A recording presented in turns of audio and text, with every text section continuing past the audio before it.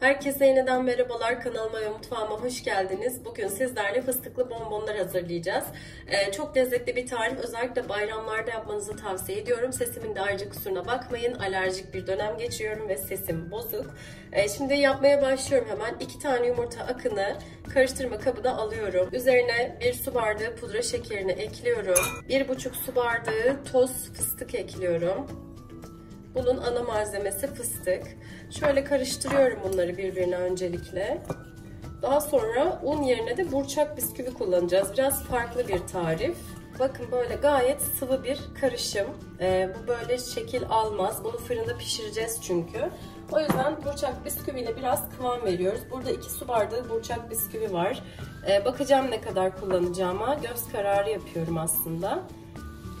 Şimdi biraz daha ekleyeceğim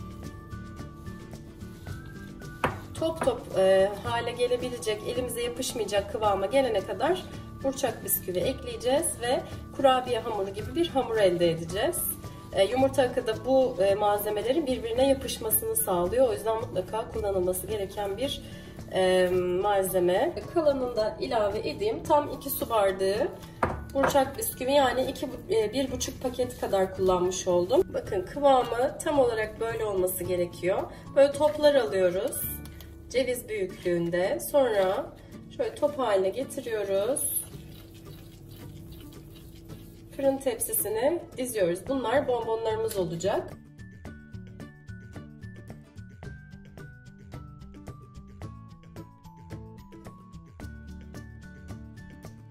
Tam bir tepsi bonbonumuz hazır. Verdiğim ölçüden bu kadar çıkıyor. Şimdi bunu 180 derece önceden ısıttığım fırına veriyorum. Çok kısa sürede pişiyor. Çünkü çok uzun pişerse bu yeşil görüntüden uzaklaşır. Fıstıklı bir tatlı görüntüsü olmaz.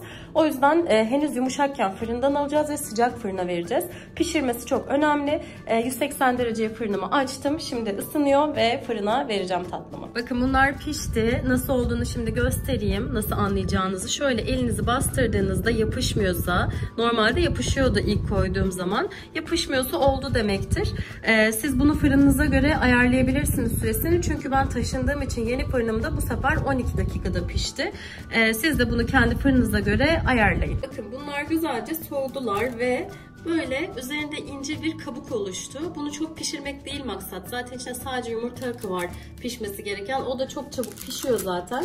Ee, şöyle bir tanesini alıyorum çikolatanın içine atıyorum. E, Benmero usulü erittiğim çikolatam var. Ben 3 paket kare çikolatalardan erittim. Şöyle fazlasını akıtıyorum. Ve yine aynı kabına koyacağım. İyice bir akıtmam lazım. Çünkü çikolatayı biraz beklettiğim için katılaşmış. Şöyle geri yerine koyuyorum. Şu elimle yardımcı olayım. Evet. Hemen diğerini yapıyorum inanılmaz lezzetli bir şey hazırlamış olduk sizinle birlikte. Denediğiniz zaman göreceksiniz. Hani hazır fıstık ezmeleri satılıyor ya.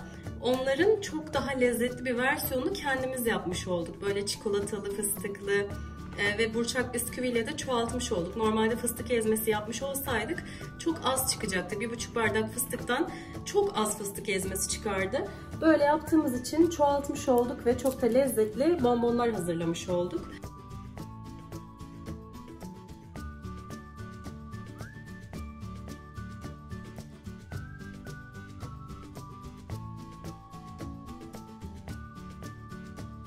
Evet bonbonlarımız şu an hazır. Sadece dolapta soğuması lazım. Ama öncesinde şöyle her birinin üzerine biraz fıstık e, serpiştiriyorum.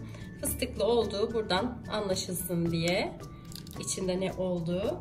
E, bunu farklı çeşitlerde de yapabilirsiniz. Daha sonra Hindistan cevizi versiyonunun tarifini de vereceğim. E, fıstık yerine Hindistan cevizi koyuyorsunuz. O da çok lezzetli oluyor. Yumurta akı, pudra şekeri, Hindistan cevizi, yumurta akı, pudra şekeri, fındık, yumurta akı, pudra şekeri, fıstık. Yani bu çeşitlendirilebilecek bir tarif elinizdeki malzemeler doğrultusunda. Ama bu bayramlar için özellikle fıstıklı olan çok çok lezzetli oluyor. Güzel bir alternatif. Ben bunu dolaba alıyorum. Güzelce soğuduktan sonra ortadan kesip içini de size göstereceğim son halini. Ama iyice bir donmaları lazım. Evet hanımlar bonbonları Bunlarımız çok güzel bir şekilde dolapta güzelce dondular. Şimdi hemen bir tanesini dilimleyeceğim ve size göstereceğim ve ayrıca servis tabaklarına da alacağım.